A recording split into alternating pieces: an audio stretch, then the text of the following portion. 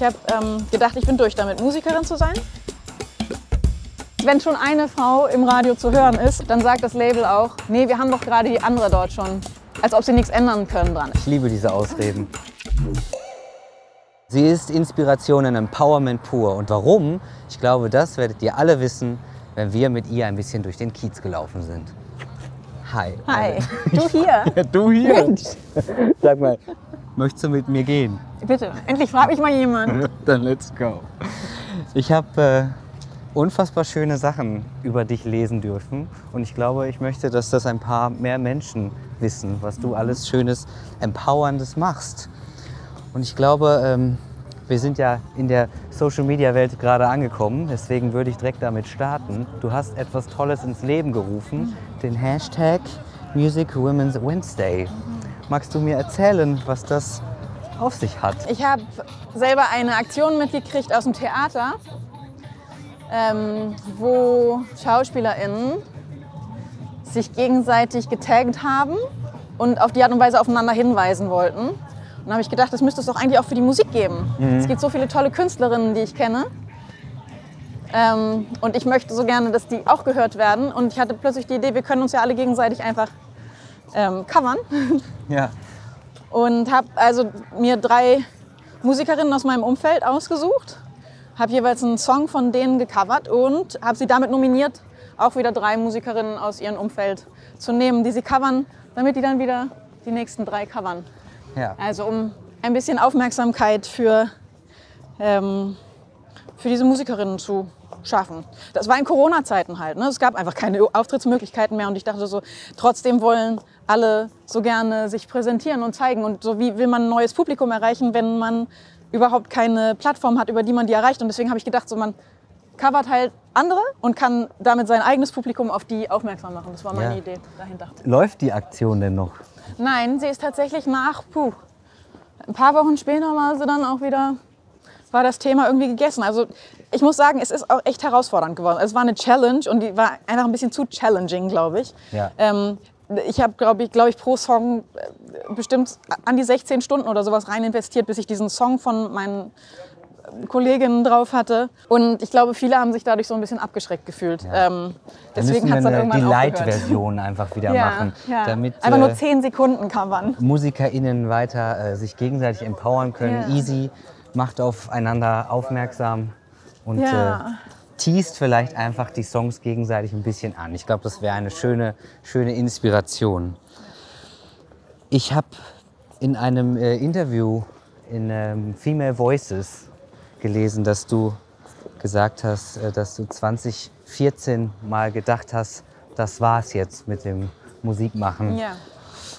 Ich glaube, du hattest eine Schreibblockade und hast auch wirklich gesagt, ich, ich sehe nichts Sinnstiftendes mehr im Musikmachen. Ja, tatsächlich. Ja, ich habe ähm, gedacht, ich bin durch damit, Musikerin zu sein ähm, und muss jetzt was Sinnvolles machen. Und ähm, sinnvoll erschien mir damals, dass ich Umweltaktivistin werden sollte, 2014. Und habe dann ein Studium in Holland begonnen, Wasserressourcenmanagement. Also einen Masterstudiengang. Ich habe vorher sowieso schon Umweltschutztechnik studiert gehabt, eben habe mich dann für die Musik entschieden, habe dann aber doch wieder das Gefühl gehabt, naja, vielleicht dann doch jetzt wieder das mit der Okay. Umwelt. 2025 ist die Deadline für meine Masterarbeit. Ähm, aber 2016 kam so wieder das Gefühl zurück, dass ich doch Lust habe, Musikerin zu sein. Also tatsächlich damals war es so, es kamen keine Songs mehr aus mir raus. Ich hatte das Gefühl, ich habe gar, keine Musik mehr in mir. Ähm, also bin ich einfach nicht mehr Musikerin. 2013 stand eine Tour 2000, also für 2014 an und ich habe keine Vorfreude gehabt. Und dann auf dieser Tour habe ich mich auch so erschöpft gefühlt irgendwie so. Also eben Ja. wir standen vor 1500 Leuten im Huxleys in Berlin und das wäre so eigentlich so ein Wow, 1500 Leute hier bei diesem Konzert. Das äh, so, hätte ja eigentlich so total super sich anfühlen müssen und ich dachte aber nur so, irgendwie Ja. bin ich es nicht mehr. Irgendwie Es ist aber total menschlich, dass wir Ups und Downs haben. Und ich glaube, manchmal Mhm. finden wir genau darin vielleicht auch wieder unsere Kraft oder Mhm. den Sinn, weil du machst Musik, du bist da. Und Ja. äh, ich glaube, äh, zumindest weiß ich, dass du ja auch dann in kürzester Zeit geschafft hast, richtig krass nachzulegen. Mit, mit einem Album meinst du? Ich, ich, Genau. Ja, also ich habe tatsächlich noch 2015, als ich dort angefangen habe zu studieren in Holland, das erste, was ich gemacht habe, war, dass ich mir bei der Nachbars-WG ein Klavier gekauft habe. Und insofern, also so richtig, so richtig gebrochen hatte ich offensichtlich nicht mit der Musik. Aber so ab 2017 war so das Gefühl da, ich habe doch noch mal Lust, ein Album zu machen. Und so ein Album, da hatte ich auch irgendwie plötzlich viel mehr Lust drauf, als darauf eine Masterarbeit zu schreiben. Und ich glaube, das hatte alles seinen Sinn, dass du vielleicht gewisse Wege ähm, dir mal angeschaut hast, um den anderen wieder zu finden. Ja. Was mich sehr interessiert ist, wie du vielleicht deinen Feminismus und die politische Seite mit deiner Musik zusammenbringst oder wie sieht dein Feminismus generell aus? Ja, also tatsächlich kommt der, glaube ich, nicht in meinen Liedern zu tragen, weil dieses Liederschreiben so aus einem anderen ähm, Space quasi oder aus einem anderen Anteil in mir heraus entsteht. Ähm, aber das, was halt so Social Media betrifft oder eben in, nicht in der Zeit, in der ich nicht gerade auf der Bühne stehe, ähm, so da habe ich halt so ein, so ein Bedürfnis danach, ähm, mich einzusetzen. Also es ist losgegangen 2018 war das, glaube ich, dass die GEMA den Musikautorenpreis, damals hieß er noch Musikautorenpreis, inzwischen haben sie es geändert zum Musikautorinnenpreis. Ähm, die haben den äh, verliehen und es waren 21 Nominierte und davon gab es 20 Männer und eine Frau. Also das war der Moment, wo ich gedacht habe, so, das ist so eine Schieflage. Und das kann ja nicht sein, weil es für alle Kategorien gibt es natürlich auch Komponistinnen oder Textdichterinnen, die dort hätten nominiert werden können. Daraufhin habe ich gedacht, okay, vielleicht muss man denen ein bisschen auf die Sprünge helfen und habe selber einfach 30 ähm, Komponistinnen und Textdichterinnen eingereicht, damit die Jury nicht hinterher sagen kann, wir hätten gerne welche nominiert, aber uns Ja. sind einfach keine eingefallen. Ja. Deswegen habe ich Ich liebe diese Ausreden. ich weiß, ähm, dass du ja Mitgründerin bist bei Music Women Germany. Genau, auf der Internetseite könnt ihr euch anmelden, www.musicwomengermany.de. Und da kann jede Musikerin ein Profil anlegen. Nicht nur Musikerin, sorry, alle, Le- alle, im Musik, Flinter. alle Flinter im Musikbusiness können dort ein Konto anlegen und sagen, hier, ich bin FOH oder ich bin Lichtfrau oder ich bin äh, ne, alles Mögliche, was äh, Bookerin, Ja. Label, Alle Musikbranche, Ja, genau, Flinter, bitte meldet euch bei Music, Women, Germany. Äh, Finde ich unfassbar äh, wichtig. Ich glaube, das Beispiel von dem Preis ist genauso ein gutes Beispiel wie die Aktion, die du ja gemacht hast. Äh, Du hast drei aufeinanderfolgende Tage die Playlists in Radiosendern äh, gehört.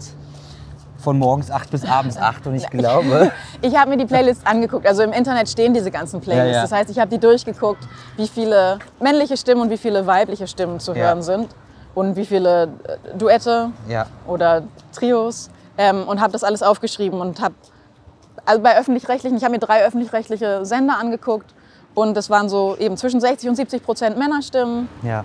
zwischen 20 und 25 Prozent Frauenstimmen und ähm, der Rest waren Duette. Und dann habe ich angerufen bei den Radiostationen und habe mit den ähm, Programmleuten mal darüber gesprochen, ja wie lief das warum so? das wie eigentlich kam so das so an? ist. Ja, so, ach, ich habe das Gefühl, so die sind, sind da, die würden das gerne auch besser machen eigentlich, aber ich glaube, die fühlen sich alle so, als ob sie nichts ändern können dran. Also ne, so die von den Radios sagen, ja, wir kriegen das so von den Labels.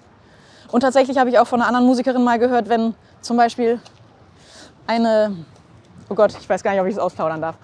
Jedenfalls, wenn schon eine Frau im Radio zu hören ist und die gerade eine Single hat, dann sagt das Label auch, nee, wir haben doch gerade die andere dort schon gepitcht. Dann, also also das heißt, glaube- das, das Genre deutschsprachig, Ich glaube, das Frau. darfst du laut sagen, nee, ich weil will, aber ich solche E-Mails ja auch bekomme mit ähnlichen Ausreden. Ja, Und weil wir das gerade schon hatten, Ja. brauchen wir das gerade nicht Ja, mehr. also Und es ich ist so, glaube, als das ist eine sehr ja.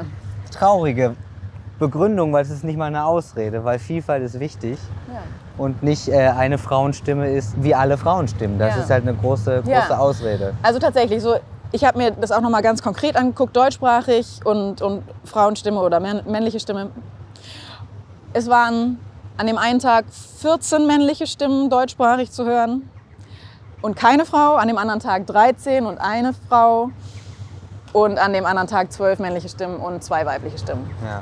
äh, in deutschsprachig. So es ist wirklich so, wenn eine deutschsprachige Sängerin schon zu hören ist, dann genügt das an. Na, also so Ja, ja. Mehr, mehr Platz ist quasi nicht im Programm. Und das ist halt super absurd. Also eben, aber es ist Platz für 14 männliche Stimmen. Kommen wir zu dem Wichtigsten, was wir haben. Unsere Kinder und du hast einfach die Kinderbetreuungskosten mit in den Förderantrag bei Initiative Musik eingereicht. Ja. Und seit diesem Jahr ist das rechtens. Seit 2020 sogar, genau. Ich habe die 2019 eingereicht und damals wurde mir noch gesagt, nee, sorry, können wir, können wir nicht mit reinnehmen, kann nicht mit abgerechnet werden. Und dann gab es aber eine Mitarbeiterin, ähm, die das dort bei der Initiative Musik halt in der Gruppe mal angesprochen hat und dann haben sie irgendwann ihre Richtlinien tatsächlich geändert und dann war der nächste Schritt aber, dass man das auch öffentlich kriegt, weil Ja. so was nutzt eine Information, wenn niemand sie hat. Ähm, und das hat ein bisschen gedauert, bis wir das ähm, umgesetzt gekriegt haben, dass es tatsächlich in die FAQs aufgenommen wurde, dass tatsächlich jetzt alle nachgucken können auf der Internetseite, kann ich Kinderbetreuungskosten mit einreichen und das haben wir jetzt geschafft. Und das ist ja nur eine strukturelle Veränderung, aber was, was wäre in einer perfekten Musikbranche die strukturelle Veränderung, die du dir wünschst? Ich glaube, es gäbe einfach gar keine Branche, sondern man könnte einfach Musik machen und alles wäre schön. Ich freue mich auf jeden Fall, dass, dass wir uns äh, begegnet sind. Und ich glaube, bevor ich dich entlasse, würde ich gerne noch wissen, was du dieses Jahr noch vorhast. Ich habe dieses Jahr tatsächlich was ziemlich Großes vor. Oh. nämlich ein Orchesteralbum. Im Dezember wird ein Orchesteralbum rauskommen. Im Dezember 2022. Ähm, ja, wir haben mit einem 80-köpfigen Orchester ein Album aufgenommen. Vielleicht äh, bringen wir das einfach, das komplette Orchester nächstes Jahr zum Reeperbahn-Festival. Das Oh, haben wir jetzt cool. so mit. Also wir äh, kommen auf jeden Fall nach Hamburg. Entweder im April oder November. Ich weiß noch nicht genau, wann welcher Termin ist, aber wir werden mit diesem Orchester auch auf Tour gehen. Das ist sehr schön. Also ich würde mich freuen, wenn ihr Aline Cohn überall in den sozialen Medien mal äh, auscheckt oder euch eventuell auch einfach anmeldet oder im Netzwerk dabei sein wollt. Music Women Germany. Und wenn ihr weiter die Hashtag Challenge äh, fortführen wollt, dann covert doch vielleicht einfach nur ein paar Sekunden oder die Hook Ja. oder den Ja, Refrain. also es geht jeder, ja gar nicht jeder, darum. Jede darf mitmachen. Ja. Feiert euch gegenseitig. Musik ist das beste Empowerment, was wir haben, weil die Sounds gehen einfach durch. Danke und mach einfach weiter, was du machst. Danke dir. Auch. Viel Spaß noch im Reeperbahn-Festival. Dankeschön. Ciao, ciao. Tschüss.